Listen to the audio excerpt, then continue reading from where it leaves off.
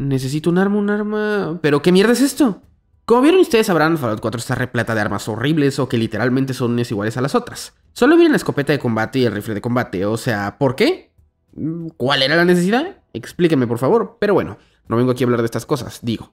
¿Alguien me puede explicar por qué existe esto? O sea, entiendo que se puede mejorar y dejarla decente, por no decir normal. Pero por favor, ¿cuándo en su vida han visto un rifle de caza o francotirador así? O sea, ¿por qué? Pero bueno, aquí les traigo tres mods que qué chulada, no me dejarán mentir. Que solucionarán todo esto.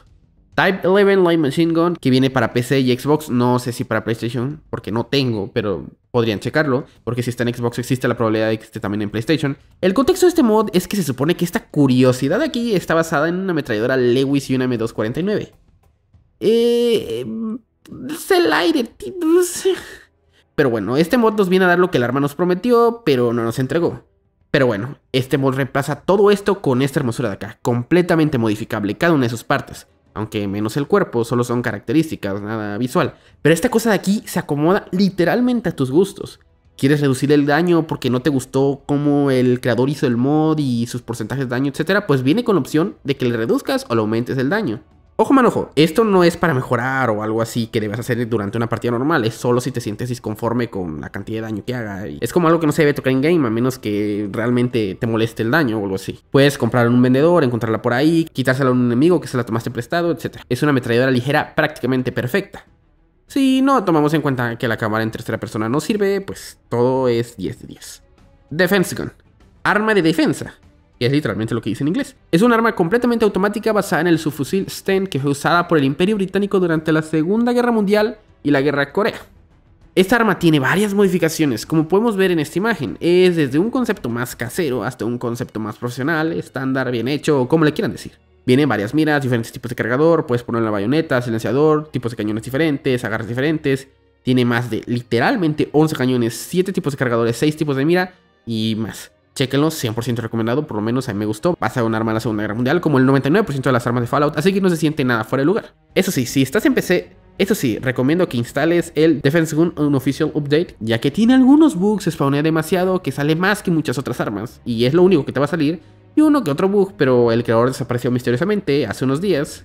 Entonces un fan del mod sacó este mod para mejorar el mod. Parece que el creador era fan a morir de Bethesda porque siguió sus pasos al pie de la letra dejar que los fans lo arreglen por ti. Todo un crack.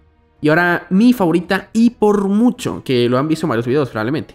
The Zapgun, a Makeshift Laser Weapon, que también está para PC y Xbox. Fallout 4 está repleto de armas caseras, porque parece que todos son ingenieros o no, no, sé, porque pueden con un par de tubos, madera y una tuerca o tornillo hacer armas. Y lo digo en serio, miren lo que tiene como gatillo. Pero para armas láser lo único casero ese es el mosquete, y agarraron un arma láser, un trozo de madera, una palanca y ¡boom! Arma nueva. ¿Que ¿Por qué funciona de un tiro y de esa manera cuando el cuerpo principal del arma, la forma en la que está construida, está basado en un arma que es mucho más rápida e incluso puede ser automática? ¿Quién sabe? Magias de la ingeniería. Y si son tan listos, ¿por qué solo hay un arma de energía casera?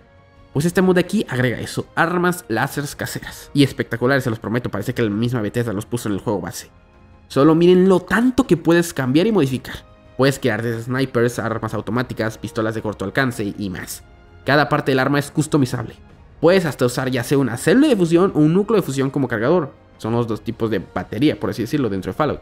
Tiene 5 miras, 3 cañones, 4 mangos o agarres, como le digan, dos tipos de recibidores e incluso una bayoneta. Yo nunca uso esto en el juego, pero pues ahí lo trae esta opción. Además, un separador de disparo, o uno que hace como focus de los disparos, hace como si fuera un disparo concentrado, ¿no? Esta arma de igual manera son dropeables por enemigos o comprables en tiendas. Además, incluye tres torretas diferentes para colocar en tu casa y defenderla. Pero ahora, una de mis cosas favoritas de este mod. Bueno, eh, mi favorita en sí es el mod de las armas en general. Pero otra cosa espectacular es esta. Primero tienes que dirigirte a la oficina regional de Datal, o así creo que se dice. Ser una zona repleta de enemigos y seguridad. Los acabas y ya. Para así desbloquear esta puerta y encontrar esta chulada de aquí. Esta arma es única y no puede cambiarse. ¿Y tienes curiosidad de las maravillas que hace esta arma? Pues antes de eso no olvides comentar si quieres que hable de algún otro mod en específico, que hable de algún tipo de mod que te gustaría ver o que quisieras encontrar, duda, quieres que hable de alguna teoría, lore o algo así, ah, lo puedes dejar en los comentarios, además dejarte un like y suscribirte, pero bueno, ya no más rodeos y ahora sí les dejo esta maravilla de arma que me pareció espectacular.